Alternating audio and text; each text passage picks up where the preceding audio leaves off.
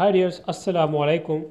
Today we discuss the importance of statistics and you have to learn these at your fingertips because this is the most important and the most asking questions at any level. So let's come to the first point. Large number are always estimated not counted. Large numbers को हम हमेशा estimate करते हैं count नहीं करते जब आपकी जो पॉपुलेशन होती है जब वो इनफाइनाइट हो जाती है इनएक्सेसिबल होती है आउट ऑफ़ रेंज हो जाती है तो वहाँ पे हम इस्टीमेशन करते हैं और इस्टीमेशन जो है वो स्टेटिस्टिक्स के बिना हम नहीं कर सकते। और इस, और स्टेटिस्टिक्स के अलावा कोई ऐसा सब्जेक्ट नहीं है जो आपको इस्टीमेशन की परमिशन देता हो। The motto of statistic is not mere collection of data but comparison यानी स्टेटिस्टिक्स का जो मेन ऑब्जेक्टिव होता है, जो मेन मोटो होता है, वो जस्ट कलेक्शन नहीं होता। यानी हमने सिर्फ़ कलेक्शन पे ही इक्तफा नहीं करना डेफिनेटली कलेक्शन जो है वो स्टेटिस्टिक्स का पिलर्स है, लेकिन हमारा जो मेन मकसद होता है वो कंपैरिजन करना होता है। यूजुअली हम क्या करते हैं प्रेजेंट डेटा को पास डेटा से कंपेयर करते हैं और फिर फ्यूचर के लिए क्या करते हैं हम प्रोडिक्शंस करते हैं। Most dependable tools for decision making यानी जब हम कोई डिसीज़न बनाते हैं तो स्टेटिस्टिक्स की बिना पे बनाते हैं।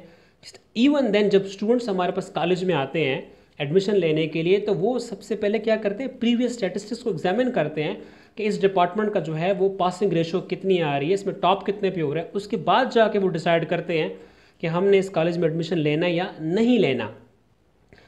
Without statistical balance no one can dare to take risk यानी स्टेटिस्टिकल बैलेंस के अलावा स्टेटिस्टिकल बैलेंस को देखे बगैर आप रिस्क नहीं ले सकते। फॉर एग्ज़ाम्पल एक पेशेंट है, उसकी हार्ट सर्जरी करनी है तो उसके लिए तीन डिफरेंट हॉस्पिटल का रिकमेंड रिकमेंडेशन दिया गया है। तो डेफिनेटली आप फ़र्स्ट हॉस्पिटल में जाएँगे, वहाँ पे देखेंगे कि वहाँ स्टेटिस्टिकल बैलेंस क्या है कि लास्ट मंथ पे वहाँ पे कितने ऑपरेशन हुए हैं, उसमें कितने सक्सेसफुल हुए हैं। इस तरह सेकेंड हॉस्पिटल्स में जो है, वो सक्सेस सक्सेस रेशो कितना रहा है, इस तरह जो थर्ड हॉस्पिटल है, वहाँ का स्टेटिस्टिकल बैलेंस कितना रहा है, इन तीनों को एग्जामिन करने के बाद जिसका स्टेटिस्टिकल बैलेंस आपको अट्रैक्ट करेगा वहाँ पे जो है वो आप हार्ट सर्जरी करेंगे because we know the convincing power of the number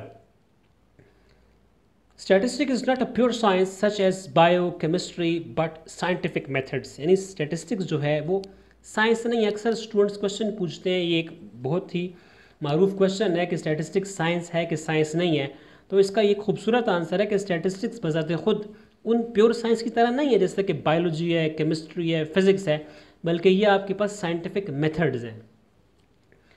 Statistics is the grammar of other sciences यानी जितनी भी दूसरी साइंसेज हैं, उनके अंदर जो डिसिप्लिन है, उसकी जो मेंटेनेंस है, वो स्टैटिस्टिक्स के पास है। इसीलिए हम कहते हैं कि statistics is the grammar of other sciences research is impossible without statistical tool किसी भी रिसर्च को पाए तकमील तक पहुँचाने के लिए आप स्टैटिस्टिकल टूल्स की हेल्प लेते हैं। स्टैटिस्टिक्स के बगैर किसी भी रिसर्च को जो है वो आप कंप्लीट नहीं कर सकते।